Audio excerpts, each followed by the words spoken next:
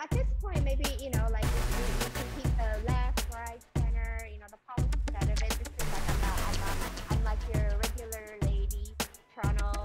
You know, my parents run uh, a variety store. They sell chips uh, and, and chocolate bars, and, and here I am, like I'm running for political office. So here's here, here's the uh, Canadian dream. Maybe. How it goes. How it goes. I'm ready to go.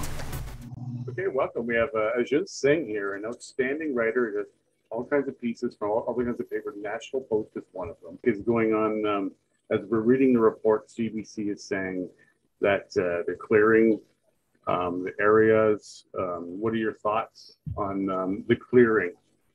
I should say, as Parliament is shut down. Well, the clearing as a whole and the government's whole response to this convoy, this peaceful protest, is a gross overreaction. These are people who have just come to a city center to peaceably assemble, to make their voices heard.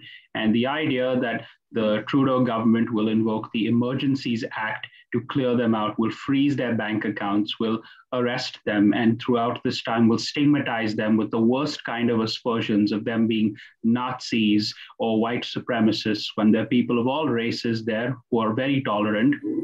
It's just absolutely ridiculous. And this is actually a very pivotal moment in Canada's history, I think, because for the first time in a long time, we're seeing Canadians coming together to stridently assert their individual rights, which I feel is happening insufficiently in Canada. It certainly happened insufficiently throughout this pandemic. And the government's overreaction to that, to the idea that people will, you know, can come together and make their voices heard is ridiculous. And I don't think that the government's going to get very far because, well, they're trying to, you know, take trucks out of the city center, and it's not easy to do that. They're not getting the kind of collaboration they would need with the tow trucks companies because they either support the protests or they don't want to tow their clients away who are going to sort of give them money in the future. So it's a failing effort. And I think we're going to see a positive outcome from this whole affair whenever it ends with the vaccine mandates and mask mandates being lifted. And I think that's a very good thing. Shut down. Uh, yeah, and, and so tomorrow, if if this is clear, then I'll let hypothetical debate carry on. Do you believe? Well, if they clear the protests tomorrow, then the day after, there are going to be people who come back to take their place.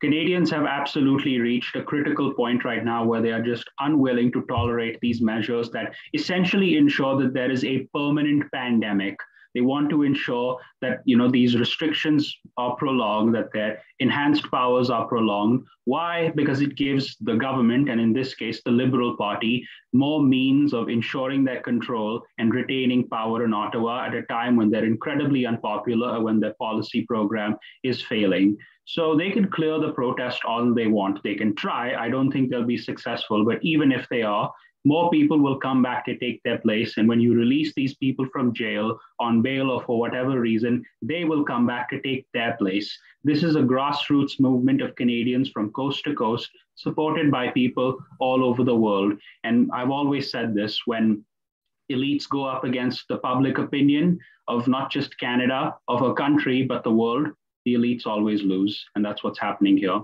Well, that's fantastic. Should do.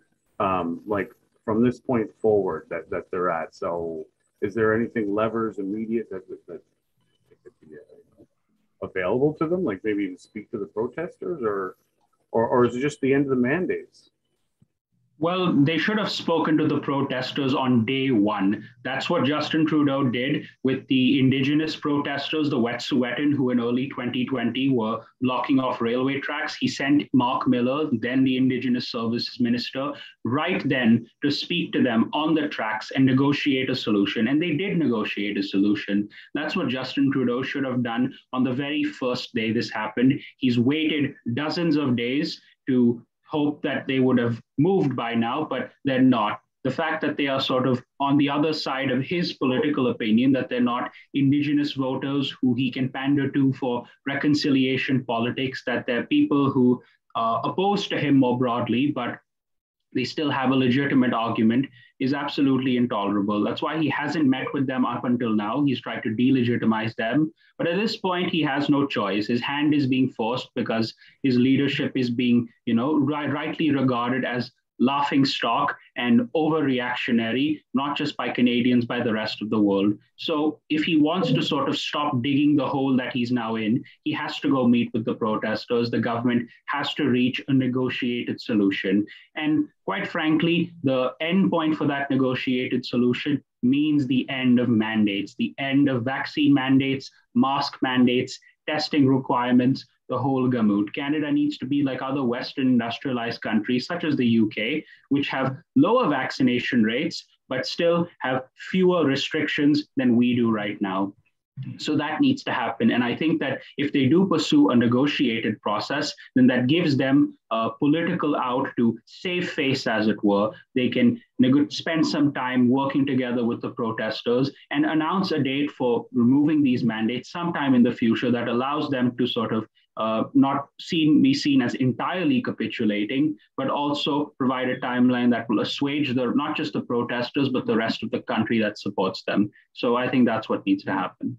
Yeah, well, yeah. I, I've noticed.